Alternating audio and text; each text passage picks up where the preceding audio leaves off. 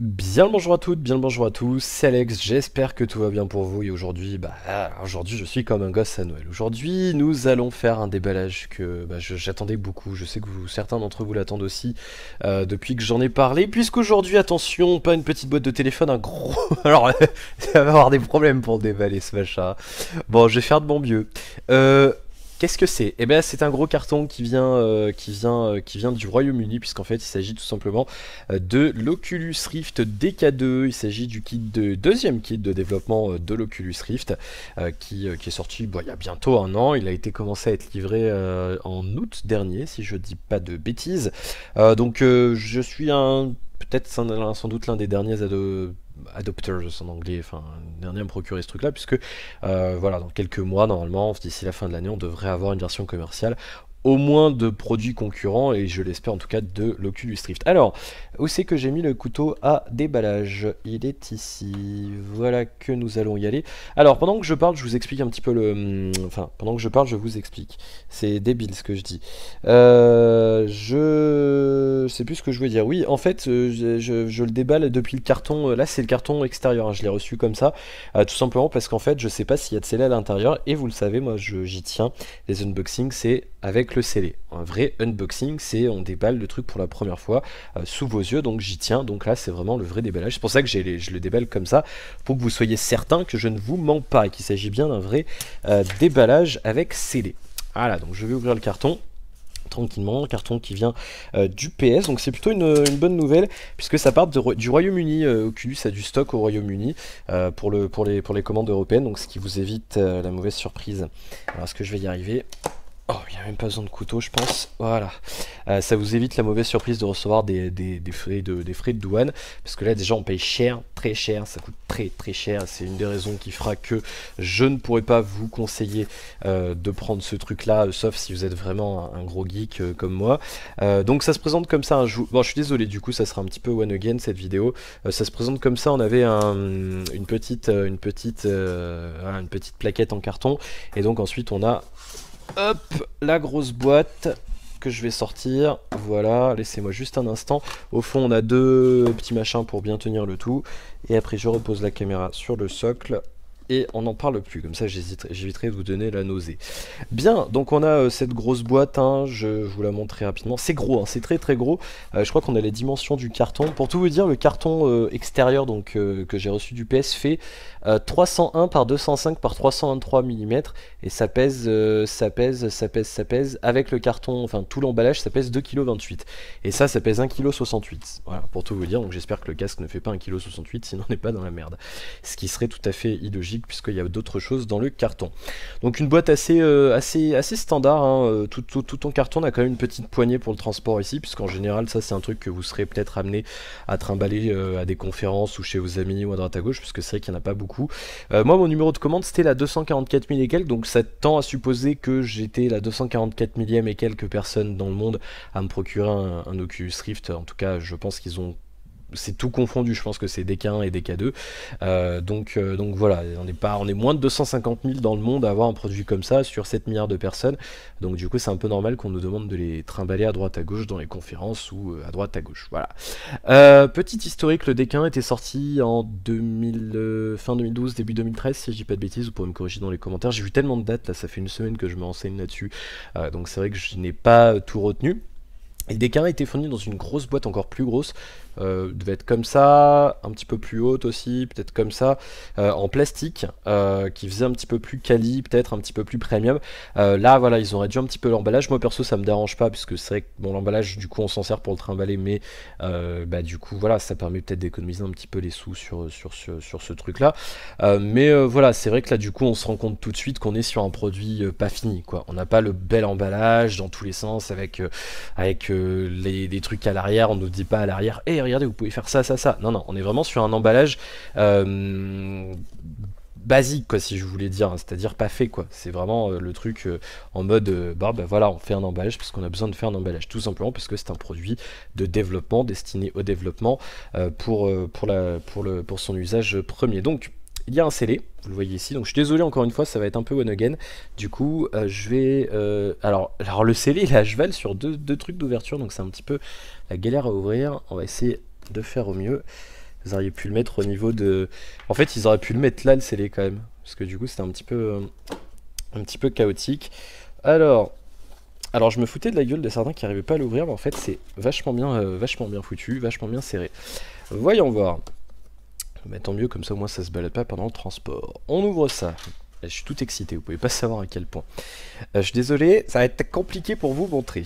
Voyons voir ce que nous avons à l'intérieur de cette boîte. Donc une boîte, euh, une boîte assez bien faite quand même. On le voit quand même, il y a bon, une bonne grosse couche de mousse pour, pour protéger tout ça. On voit d'ailleurs que ça appuie un petit peu ici. Donc c'est pas mal. Et euh, est-ce que je vais pas pouvoir prendre quelque chose d'autre pour, euh, pour, pour surélever tout ça? Ne bougez pas, je reviens. C'est surélevé, on n'en parle plus, on va essayer de, voir un petit peu ce qu'on a à l'intérieur de cette boîte. Alors une boîte plutôt bien remplie, on ira sur le casque à la fin, on va regarder un petit peu d'abord euh, ce qu'on a... euh, D'ailleurs en fait, ce que, ce que je vais faire? Vous voyez la boîte comment elle est faite? Eh ben vous la verrez plus parce que je vais la mettre à côté, comme ça ce sera plus simple pour le déballage, vous m'en voudrez pas. Mais au moins ça m'évitera en fait de... Ça m'évitera en fait de tout simplement euh, bah, avoir un truc qui prend tout le champ, je pense que ça sera pas le plus agréable pour vous à regarder. Donc voilà, ça tombe tout, c'est pas grave. Allez, on enchaîne. Sinon, sinon, ah, on se débrouille comme on peut. Bon, allez, on est parti. On a euh, pour commencer euh, des lentilles de rechange. Euh, et le diamètre est juste monstrueux en fait, je m'attendais pas à quelque chose comme ça. Donc ce que je vais faire, c'est que je vais les sortir. On en a deux, hein, bien entendu. C'est un kit. Enfin, c'est des lentilles de rechange, non en fait, c'est d'autres lentilles, parce qu'il y en a déjà monté sur le casque.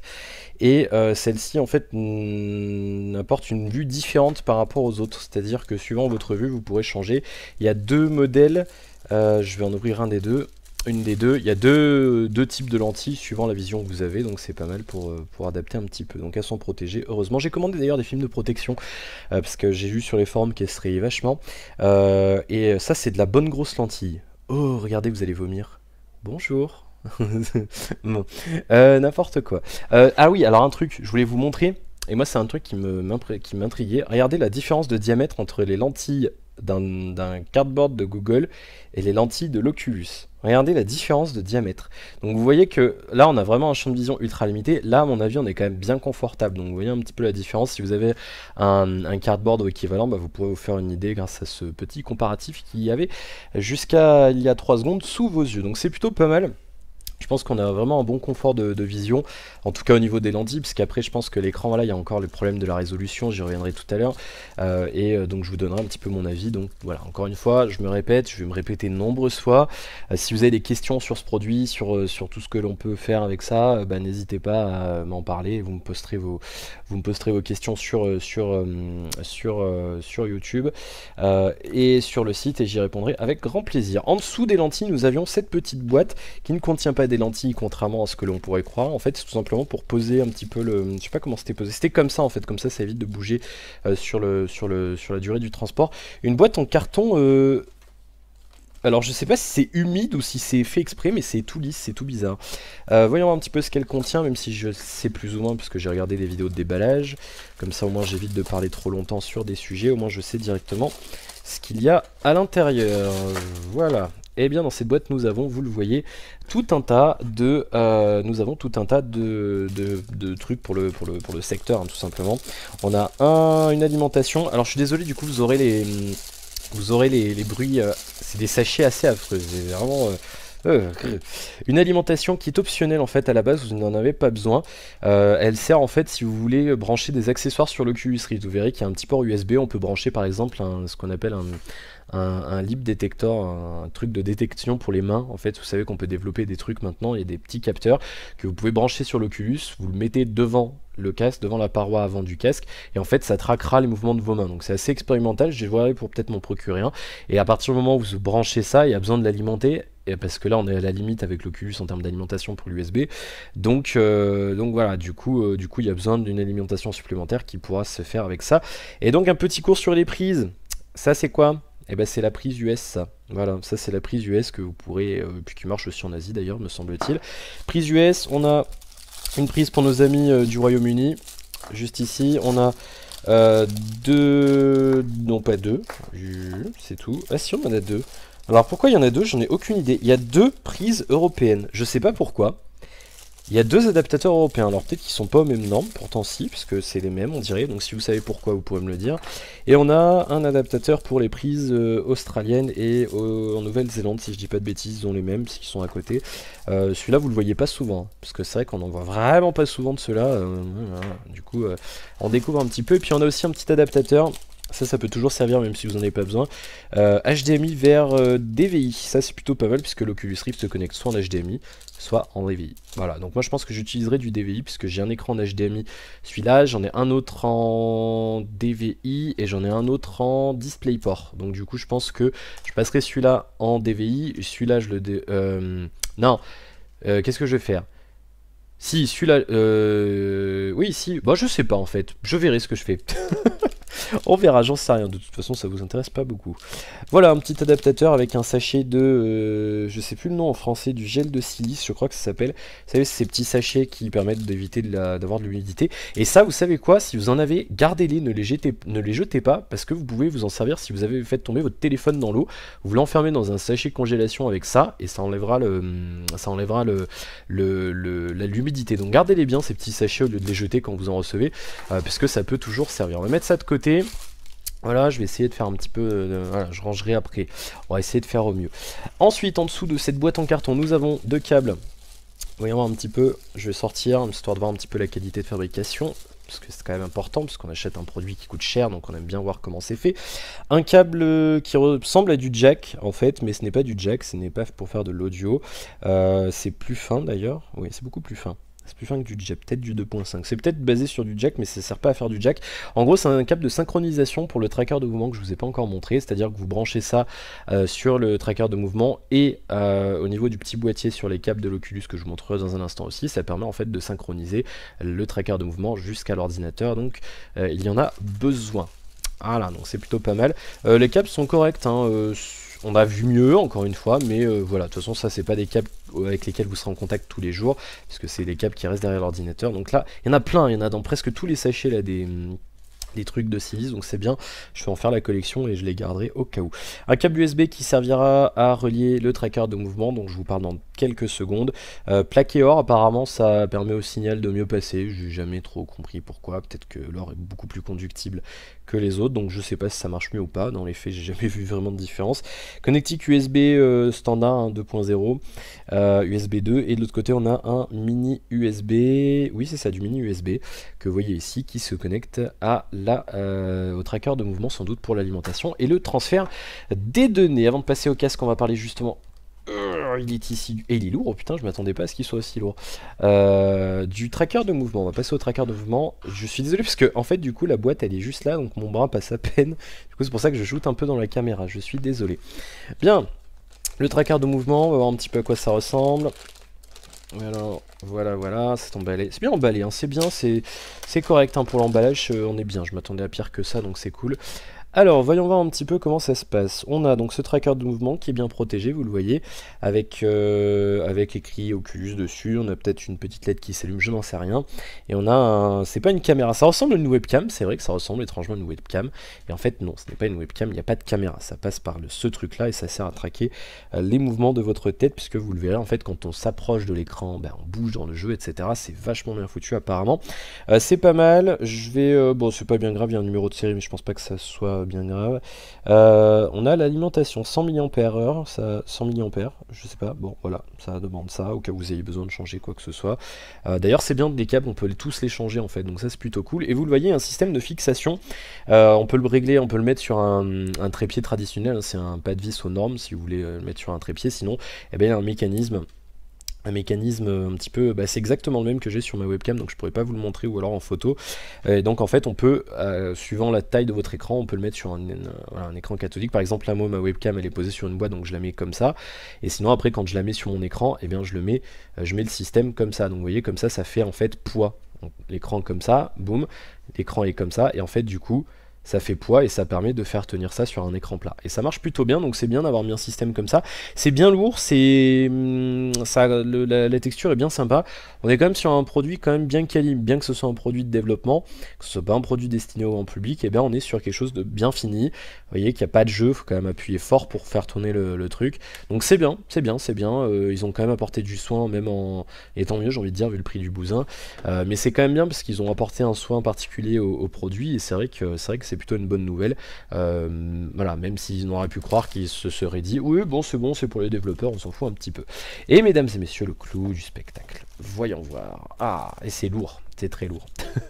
Euh, on a encore une collection de, de, trucs au silice. Mmh, mmh, c'est pas très bon, ça, faut pas trop y toucher. Euh, on a le cas sur lequel je reviens dans un instant. On a un petit chiffon, un petit, une petite, euh, petit chiffon en, tissu, vous savez, comme pour les lunettes, qui permet euh, de nettoyer les lentilles. Je vais l'ouvrir. À savoir que les lentilles apparemment sont en polycarbonate, je crois. Hein? Ça doit être ça. Euh, et ça se raye très vite, donc il faut faire super gaffe. Donc c'est pour ça que j'ai commandé les petites protections, ça coûte 3 euros les protections, donc voilà, je me suis dit 3 euros c'est moins gênant. Euh, voilà, bon, une texture assez sympa, oui, c'est comme un chiffon en lunettes, peut-être un petit peu moins lisse qu'un chiffon en lunettes, euh, brandé Oculus, donc c'est bien, c'est bien. Il y a un soin à à ce genre de choses, euh, donc c'est bien. On est à, part, à mon avis, ça de toute façon, ça sera les mêmes dans la version commerciale. Donc, ils ont déjà dû lancer une production, les commander avec leurs fournisseurs, nanana. je le remets dans le sachet rapidement pour pas euh, le, euh, le salir. Voilà qui est fait. Et nous avons une petite notice tout en anglais bien entendu puisque c'est un produit international donc pas de localisation euh, française ni quoi que ce soit voilà de toute façon je pense que voilà si vous avez besoin d'aide là moi je le lirai mais après il y a beaucoup de forums il y a hum, je pense notamment Interviewist que j'ai découvert il n'y a pas longtemps il y a énormément de communautés derrière que ce soit sur les communautés anglophones ou francophones donc vous pourrez vous faire aider si jamais vous avez un problème Notez encore une fois que là on est sur un produit destiné aux développeurs, aux bidouilleurs, donc voilà, si vous n'êtes pas bidouilleur, si vous n'êtes pas un geek, machin, vous n'avez pas envie de vous faire chier, n'achetez pas ce produit parce que vous allez vous tirer une balle dans la tête, euh, c'est vraiment pas fait pour tout le monde, et euh, voilà, je vous en reparlerai, de toute façon je vous donnerai mon avis après, euh, mais de, ce que j'ai lu, voilà, c'est quelque chose qui requiert quand même beaucoup de temps de, de programmation, voilà, j'ai vu des gens qui disaient, oui, pour faire une démo de 20 minutes, il faut bidouiller pendant 2 heures, sinon ça démarre pas, quoi, donc c'est vrai qu'il faut, quand même, il faut quand même en vouloir. donc on nous explique dans cette petite notice comment installer tout ça en 1, 2, 3, 4, 5, 6, 7 étapes. Ouais, ça doit être 7, non, 8, 9, 10, 11. 11 étapes. En 11 étapes, démarrez votre Oculus Rift. Euh, on nous explique euh, plein de choses. On nous explique euh, comment avoir l'air con devant votre ordinateur. c'est très drôle. et plein d'autres choses. Voilà, donc je lirai ça, j'installerai ça. je ne vous ferai pas l'affront de faire l'installation vidéo parce que c'est ennuyeux à souhait, je pense. Et la notice tombe. Et nous allons passer au clou du spectacle, donc le casque lui-même qui est soigneusement emballé dans un sachet en plastique que je vais être obligé de déchirer dans tous les sens malheureusement. Non, voilà, parfait. Voyons voir comment ça, à quoi ça ressemble. Alors, euh, c'est assez lourd, j'ai pas le poids exact, il y a encore, encore, il y a partout. Euh, j'ai pas le poids exact du, euh, du casque, faudra que je le trouve sur, sur internet. Mais euh, excusez-moi pour l'angle de vue, parce que c'est vrai que c'est un produit qui est assez gros, donc j'ai pas forcément l'habitude, parce que c'est vrai que d'habitude le téléphone et les tablettes c'est quand même plus petit. Euh, donc voilà. Alors, sans vous aurez l'occasion de le revoir. Euh, et eh ben c'est bien fini, je m'attendais à un truc moins bien fait que ça, donc on a un plastique quand même de qualité oui, c'est du plastique, mais ça fait, euh, voilà, c'est bien fini, c'est quelque chose de, on sent quand même qu'ils ont, ça craque pas, c'est bien monté, on sent vraiment qu'ils ont quand même apporté du soin au machin. On, est bien, franchement, je pense qu'on est pas mal en termes de qualité de fabrication. On a les câbles qui sont emballés, j'y reviendrai dans un instant. Là, euh, les sangles, etc. Donc pour mettre sur la tête, qui ont l'air d'être pas mal, hein, franchement, oui, c'est élastique. Euh, le tissu a l'air de plutôt bonne qualité, donc on sait pas mal non plus. Euh, hum, hum, hum, je vais revenir sur les câbles dans un instant. Euh, voyons voir un petit peu. Ouais, c'est bien. Bah, je découvre en même temps que vous en fait, hein, donc euh, c'est vrai que c'est vrai que voilà, j'aurai l'occasion de refaire une vidéo, je pense, quand je vous ferai la conclusion et ce genre de choses. Si conclusion il y a un jour, ce qui n'est pas sûr. Alors je vais peut-être ouvrir. on va peut-être, on va peut-être, on va peut-être. Comment c'est fait ça? D'accord, donc il y a un morceau de sachet qui ne sert à rien fondamentalement. Je sais pas si je vais arriver à l'ouvrir proprement, apparemment non. Non Bon, bah je vais en mettre de partout, vous le voyez. Je, je, bon, on peut pas faire autrement malheureusement quand on emballe ce genre de produit, mais c'est vrai que là du coup, euh, j'aime pas parce que ça fait de la charpie au niveau des, des plastiques et après c'est chiant. Tout mettre à la poubelle, il y en a partout, ça tombe par terre, c'est un petit peu dérangeant. Voilà, on n'en parle plus. Et nous avons encore du gel de silice. On va faire une petite collection. Voilà, faut pas. c'est vrai que c'est pas très bon pour la santé en fait ce truc là. D'ailleurs ça m'avait étonné qu'ils en foutent dans la bouffe euh, avec les trucs qu'on avait commandé avec Mathilde. Alors des câbles qui ont l'air plutôt longs, un câble tressé, c'est bien ça, ça évite que ça se. Une partie du câble qui est tressé, pas tout le câble d'ailleurs. Il y a une partie qui n'est pas tressée. C'est bizarre, ça doit être la partie qui va jusqu'à l'ordinateur. Ça évite que ça s'en mêle, c'est bien. On a, euh, je le déroule pas parce que c'est long, donc hein, vous m'en voudrez pas. On a euh, un câble USB qui est brandé d'ailleurs, qui n'est pas plaqué or, celui-là c'est marrant. Et puis un câble HDMI pour brancher votre ordinateur. Et donc on a le petit boîtier. À savoir que dans le DK1, le boîtier était juste 10 euh, fois plus gros que ça. Et donc là, on a le petit boîtier qui gère tout. Voilà, ils ont tout réduit. D'un côté, on a euh, la prise pour l'alimentation optionnelle, me semble-t-il. Oui, ça doit être ça. Et euh, là, c'est pour brancher à la caméra. Euh, vous ne le voyez pas, l'enregistrement planté. Je redémarre ça immédiatement, ne bougez pas. Sinon, ça a l'air d'être bon là. Ça y est, c'est bon, c'est revenu. donc on a ici pour la synchronisation avec le, le, le, tracker de mouvement, donc c'est pas mal. Bien, donc c'est plutôt une bonne nouvelle, ça marche bien, le câble a l'air d'être bien long, on est sur quand même quelque chose d'assez quali. Les connectiques ont l'air d'être propres. Voilà, non, c'est bien, c'est bien fait. Je m'attendais pas à un truc aussi, aussi bien en termes de, qualité. Euh, donc c'est pas mal du tout. Voilà, je vais enlever ça. On va jeter un oeil à, tout ça. Alors je pourrais pas vous le montrer correctement à cause des câbles. Si, on va se, on va se débrouiller. Donc vous voyez, on a la mousse pour poser ça. Ouh c'est moi tranquille, et puis donc vous mettez vos yeux ici, il y a les lentilles, et derrière il y a un écran, il faut savoir que l'écran est tout simplement une dalle de Galaxy Note 3 de chez Samsung, euh, qu'ils ont pris, qu'ils ont posé dedans. Donc là si on le démontait, on verrait carrément le logo Samsung, c'est vraiment la dalle, et, la dalle du téléphone. Ils ont pris cette dalle là, et c'est pas juste la partie, ils ont pris toute la dalle, voilà, ils se sont pas embêtés, et, euh, voilà, donc ça a l'air plutôt confortable, franchement, euh, je m'attendais pas à ça, j'ai hâte de tester, et bah, on verra un petit peu ce que ça donne, est-ce que c'est vraiment confortable ou pas, est-ce que ça s'adapte à, est-ce que ça fonctionne, est-ce que surtout ça s'adapte à ma vue? On a des petites vis pour régler euh, apparemment l'écartement en fait du, euh, du, truc par rapport à vous peut-être pour améliorer un petit peu la vue. Et vous le voyez ici, on a une petite euh, grille qui doit peut-être laisser passer un peu l'air, parce que c'est vrai qu'on doit à mon avis avoir vite chaud dans ce machin. donc c'est plutôt, plutôt pas mal. Ici on a un bouton pour allumer et éteindre le machin avec une LED qui s'allume bleu ou orange et qui clignote suivant ce qui se passe et si le truc va exploser vous allez, vous allez mourir. Et ici on a une petite trappe caché sous un truc en, plastique qu'il ne faudra pas perdre, qui cache une prise euh, bah, qui ne sert à je ne sais quoi, et un port USB, je vous le disais, donc on peut brancher un capteur pour euh, traquer les mouvements de vos mains. On branche ici, ça se fixe ici comme ça, et donc du coup quand vous êtes sur votre bureau, bah, vous pouvez traquer vos mains. Donc c'est plutôt euh, pas mal du tout. Voilà, et donc les câbles passent dans le système de ils passent dans le système de lanière vous voyez donc du coup on n'est pas emmerdé on fout le truc et les câbles passent derrière à savoir que sur le DK1 les câbles passaient devant. Donc du coup, c'est vrai que là, ils ont amélioré le système. Donc c'est pas mal. Je pense franchement qu'avec ce, truc-là, on n'est pas, on n'est pas loin d'une version euh, commerciale, euh, puisque c'est bien fini, ça marche, euh, ça a l'air d'être, ça a l'air d'être bien, et de ce que j'ai vu, ça a l'air de bien marcher. Et donc c'est plutôt pas mal. À savoir aussi qu'il y a une flopée de capteurs hein, tout autour, là vous les verrez peut-être quand je tournerai parce que c'est des trucs infrarouges, enfin des trucs qui se voient pas à l'œil nu donc Là, on les voit pas.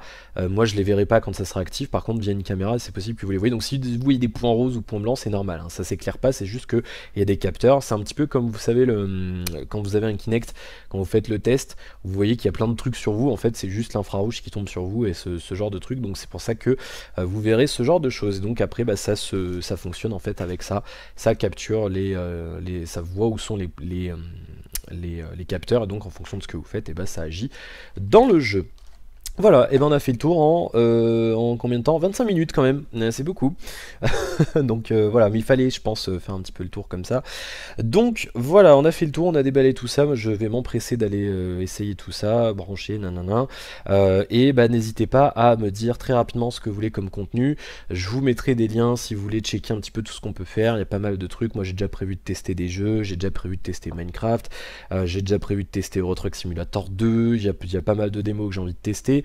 Euh, et euh, j'ai envie de tester aussi de regarder un film, on verra un petit peu ce que ça donne. Donc n'hésitez pas, vous me dites tout dans les commentaires sur la vidéo, sur le site, un peu partout, ce que vous voulez que je teste. Euh, si vous vous avez des questions, vous n'hésitez pas non plus. Je vous ferai euh, normalement là, du coup, vous avez ça euh, vendredi et bah, tout le week-end. Normalement, je ferai du contenu là-dessus. C'est possible qu'il y ait même plusieurs vidéos par jour. Donc n'hésitez pas à bien me demander ce que vous voulez. Je me ferai un plaisir de répondre à vos questions et de faire du contenu qui vous plaît et des jeux que vous voulez que j'essaye ou d'autres applications. Donc n'hésitez pas. Merci encore une fois d'avoir regardé cette vidéo, même si c'est la première fois que je vous le dis. n'hésitez pas à liker, vous abonner, à partager autour de vous, à commenter, à faire plein de bruit et à manger des fraises parce que très bon. Euh, et voilà, je dérive. Bien, à bientôt, euh, bientôt, passez, passez, passez, passez plein de bonnes choses et euh, éclatez-vous bien. Voilà, je dérive n'importe quoi. Allez, on y va. Salut à tous, à la prochaine. Ciao.